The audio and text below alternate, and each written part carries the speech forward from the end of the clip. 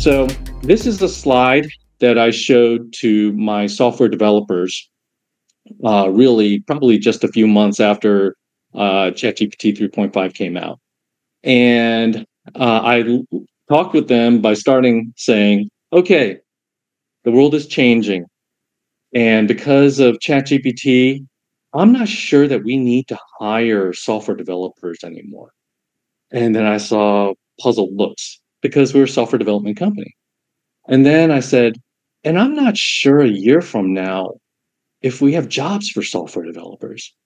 And then I saw looks of fear on faces. All right, now I had their attention. And I said, what we do have jobs for a year from now is for software composers. And let me tell you what the difference is. Uh, a software composer doesn't spend all their time doing code implementation and unit testing. Uh, they use AI for that because AI can be really good at writing methods.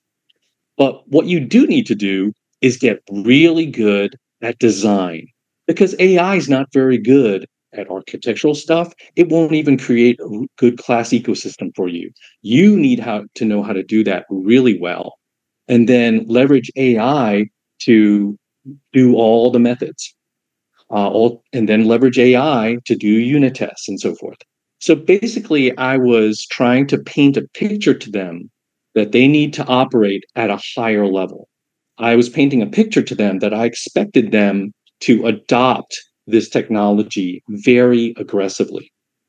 And the uh, months after that, I would check in with developers every now and then and say, oh, "So what you've been doing this week? Oh, I was writing code for this, writing code for that. Well, why are you writing code? ChatGPT should be doing that for you. You should just be composing it into something larger and editing it to make it maintainable." And so, part of the leadership that I gave was really breaking people out of the habits that they had of doing things themselves when they could be using ChatGPT or AI to be able to greatly speed up those tasks.